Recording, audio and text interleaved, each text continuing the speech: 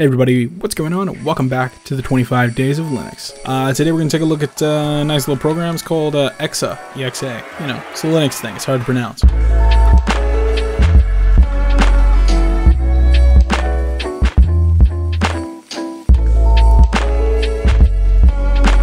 So, um, what is this program? Actually, somebody in the comments recommended that I take a look at this uh, quite a while ago when I made a like short little one minute video. I was trying to do one of those fucking YouTube shorts things uh, about a program called PTSH, and they recommended I take a look at this. Uh, what this is is essentially sort of, um, if I come in here and let's take a look at the features, is kind of styling for your uh, command line. Like by default, uh, when you're on the command line, and let's say you run a command, let's say we do an ls-la, it sort of gives you just this blank list of files, and it's not really that annoying once you get used to it, but it, it could be sort of difficult to tell what files are what if you're not used to uh, looking at this. And even if you are used to looking at it, maybe it'd just be nice to have some colors here, you know, have something going on. Uh, I mean, I guess probably the best way to explain what it's doing is it's sort of doing what the fish shell does by default, and that is foreshadowing, by the way. But basically, it's it's adding colors based on file type. You know, you can see it's sort of anytime there's a video, it's going to turn it this teal color. Images are going to be a green. Musics are going to be a blue. Directories are going to have a color. I think the directories sort of just stay the same color. Archive scripts are going to have another thing. There's a color for cryptography stuff, PGP signatures, that kind of thing. But it can do a lot more. And uh, I guess to figure all that out, we need to uh, install it first. So if you're on uh, Arch Linux, real easy, sudo pacman, whoa, Pac-Man, dash s install exa.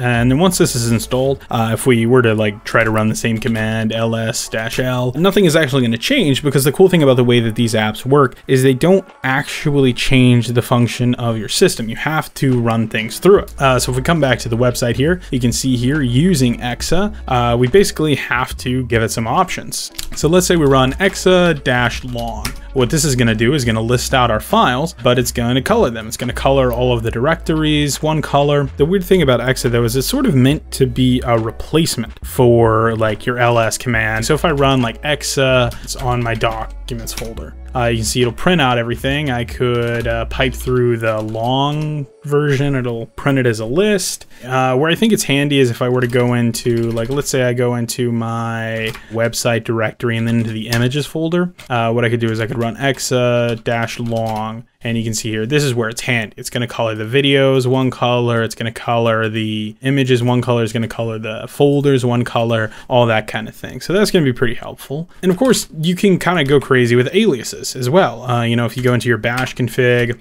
or your zsh config, in my case, uh, you know, it's really easy to as you would with any other app, let's create an alias. Maybe we'll alias LSS to run uh, exa dash long or something like that. Or, you know, you could also just replace the ls command with the exa program if you really, really wanted to. So, you know, now we're going to run lss. Oh, sorry, we have to reload zsh first, but now we run LSS and our list command is basically replaced with the exa coloring. So that's nice. One other thing you can also do is you can have it display icon. Um, the way we could do that is if we go back into my config.zsh.zeeshrc, we have to add a flag here. So we'll add dash dash icons.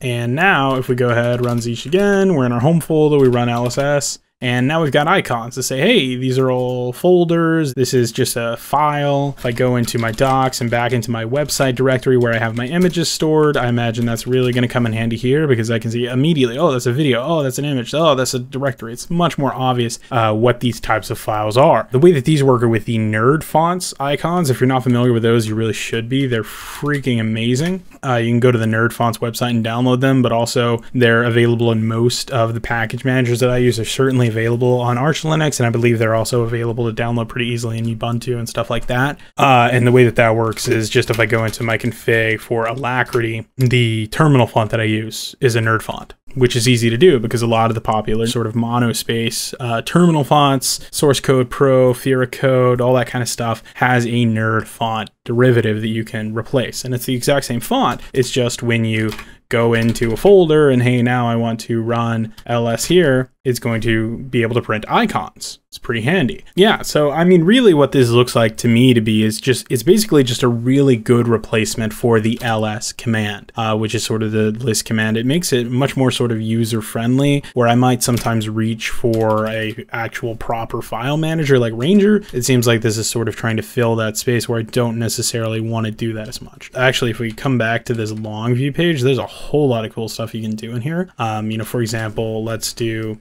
exa dash L or dash dash long dash dash icons, uh, and then we'll do dash dash headers.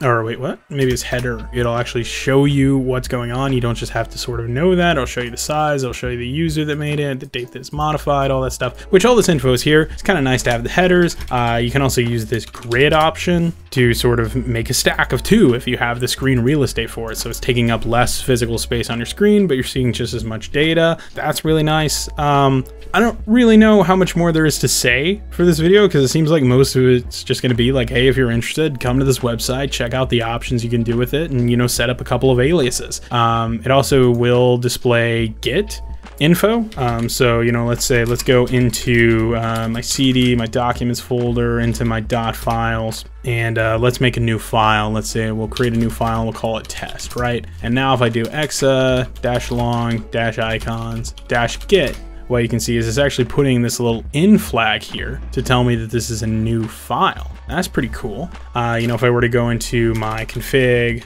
polybar um, and run that same command again, for some reason it thinks INI files are Windows files. I think actually that might be a subdirectory that Windows uses a lot. Actually, this is cool. I wasn't expecting it to pull up the like Python logo for Python scripts and stuff like that. That's that's really really cool. Uh, and it's displaying a you know a bash icon for shell scripts. That's pretty cool. I didn't think it was gonna get that sort of into the weeds. Oh, and even a config file has the little gear icon on it. That's cool. But um, oh right, what I was trying to do is let's uh, let's go into my uh, into some file here. Let's go into a shell script and let's uh, make a little change to it. We'll say in, in a comment, we'll say changed it, right? Now if I exit and I run exa long icons git again, what you can see is it's going to add this m flag here because this file is modified. So it does have some git integration as well. That's pretty cool. This is a cool app, but uh, now that I'm pretty far into the video, it seems like uh, the best way to learn about this would be to just go to the website and check it out. Uh, so I'll uh, obviously link it in the description. Uh, let me know what you think of it, I guess. I don't know. Uh, come back tomorrow for more videos, and I'll see you in the next one.